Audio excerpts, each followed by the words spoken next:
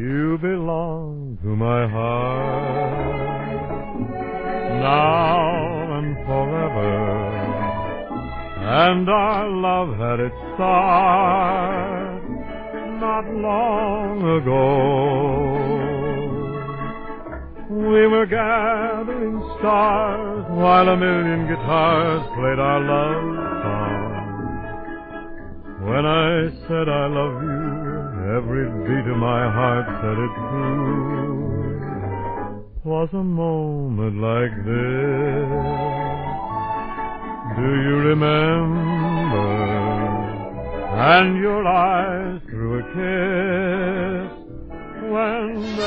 More big aviation news comes from Rochester, where the launching of Britain's largest flying boat has just been carried out.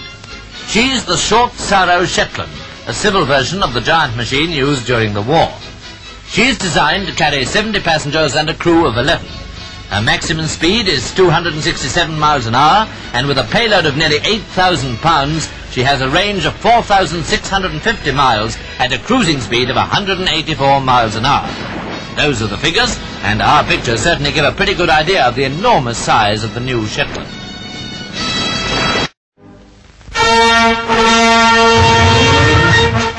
Britain's largest flying boat, the Short Shetland, was recently launched at Rochester. Following up our pictures of that event, we show you how this giant machine behaves in flight.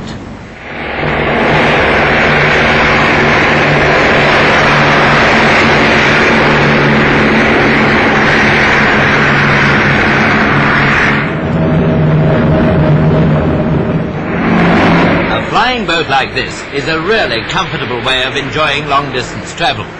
She can carry 70 passengers well over 4,000 miles at nearly 200 miles an hour. The future service of this aircraft, however, is in doubt, though she may be used for flights to Australia and the Far East.